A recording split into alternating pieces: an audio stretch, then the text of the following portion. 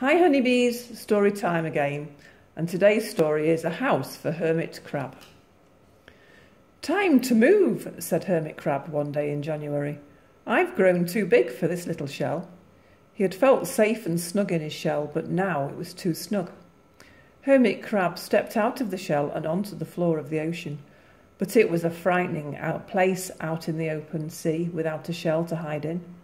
What if a big fish comes along and attacks me, he thought. I must find a new house soon.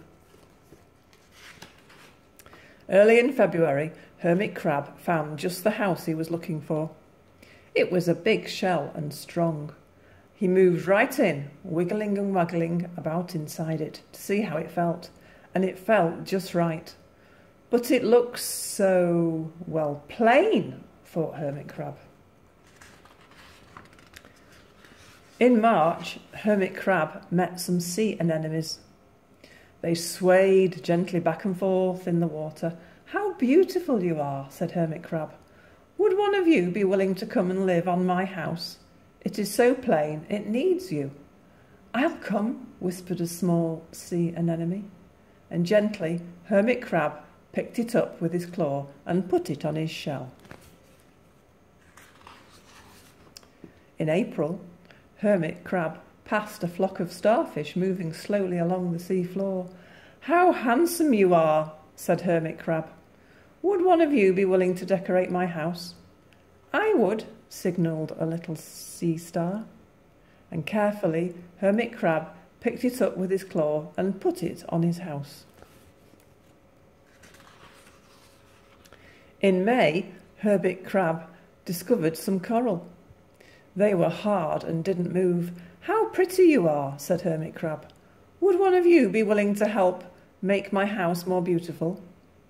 I would, creaked a crusty coral, and gingerly Hermit Crab picked it up with his claw and placed it on his shell. In June, Hermit Crab came to a group of snails clawing over a rock on the ocean floor. They gazed as they went past, picking up algae and bits of debris and leaving a neat path behind them. How tidy and hard working you are, said Hermit Crab.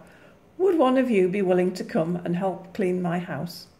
I would, offered one of the snails, and happily Hermit Crab picked it up with his claw and placed it on his shell. In July, Hermit Crab came upon several sea urchins they had sharp, prickly needles. How fierce you looked, said Hermit Crab. Would one of you be willing to protect my house? I would, answered a spiky sea urchin. And gratefully, Hermit Crab picked it up with his claw and placed it near his shell. In August, Hermit Crab and his friends wandered into a forest of seaweed. It's so dark here, thought Hermit Crab. How dim it is, murmured the sea anemone. How gloomy it is, whispered the starfish. And how murky it is, complained the coral. I can't see, said the snail. It's like night time, cried the sea urchin.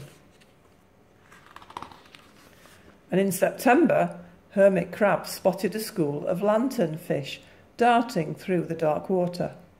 How bright you are, said Hermit Crab. Would one of you be willing to light up our house?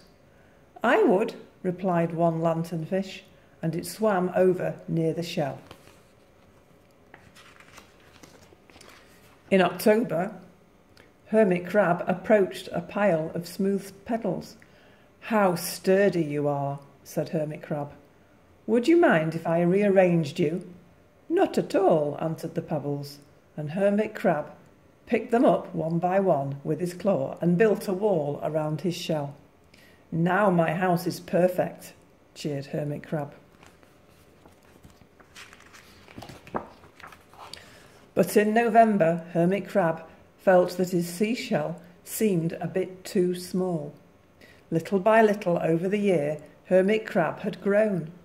Soon he would have to find another, bigger home, but he had come to love his friends and the sea anemone, the starfish, the coral, the sea urchin, the snail, the lanternfish, and even the smooth pebbles. They have been so good to me, thought Hermit Crab. They are like a family. How can I ever leave them? In December, a smaller hermit crab passed by. I have outgrown my shell, she said. Would you know of a place for me? I have outgrown my house too, answered Hermit Crab. I must move on. You're welcome to live here, but you must promise to be good to my friends. I promise, said the little crab. The following January, Hermit Crab stepped out of the little and the little crab moved in. Couldn't stay in that little shell forever, said Hermit Crab as he waved goodbye, and the ocean floor looked wider than he had remembered. But Hermit Crab wasn't afraid. Soon he spied the perfect house, a big empty shell. It looked, well, a little plain, but sponges, he thought, barnacles, clownfish, sand dollars, electric eels, Oh, there are so many possibilities. I can't wait to get started. The end. That was a house for hermit crab. Hope you enjoyed it, honeybees. See you next time. Bye for now.